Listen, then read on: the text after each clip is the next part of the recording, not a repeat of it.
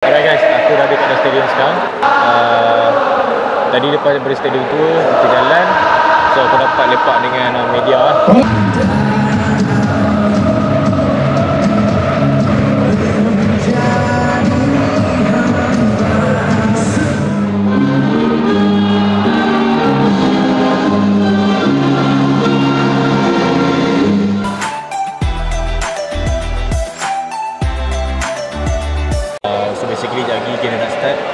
So tengok lagi siapa yang menang. Aku rasa JDT eh. Nah, takkanlah JDT nak kalah dekat first game di tempat sendiri. Stadium baru baru kan. Rugi lah kalau kalah. So aku boleh predict JDT menang lah. Kita tengok lagi macam mana. Right.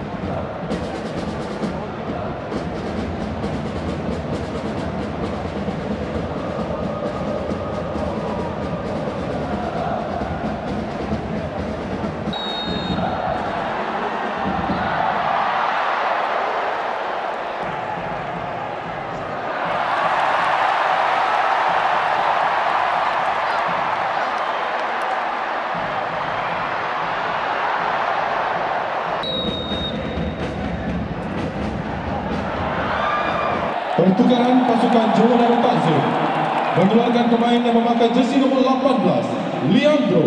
Dan memasukkan pemain yang memakai jersey nombor 88 Liridon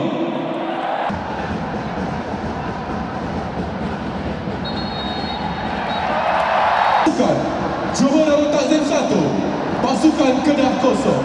Dengan ini pasukan Johor Darul Tazim juara Piala Sumbangsi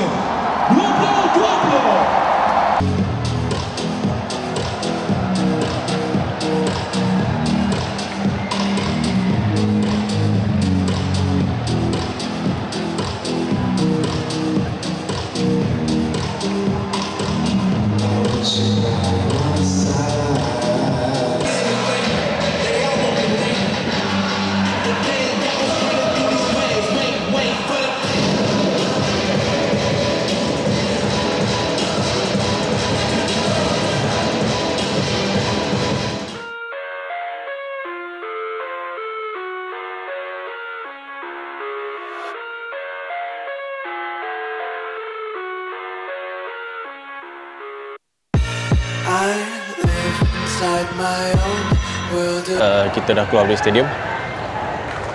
So match ni habis dengan 1-0 jadi tim menang. Seperti dijangka lah. Bro, what your thoughts on the match? First half lawanan yang menarik First half lawanan yang menarik eh. tapi uh, kemudiannya uh, Kedah seolah-olah uh, uh, men- men- menarik break uh, Menarik di situ break, eh? Kan uh, tapi kalau ikutkan dia agak seimbang kan uh, dari segi uh, serangan kan dari segi pertahanan pun sebenarnya agak seimbang cuma akhirnya yang membezakan uh, gol kan siapa yang skor dulu kan dia menang siapa yang bertahan dengan gol tu dia lah yang menang Betul. Omar dari Football Tribe Football trap. Okay guys, betul lah tu. So maknanya tim mana yang tak ambil peluang dia kalah lah. So tu jadi pada Kedah. Right. So aku pun dah penat. Kita gerak balik hotel dulu. Ciao.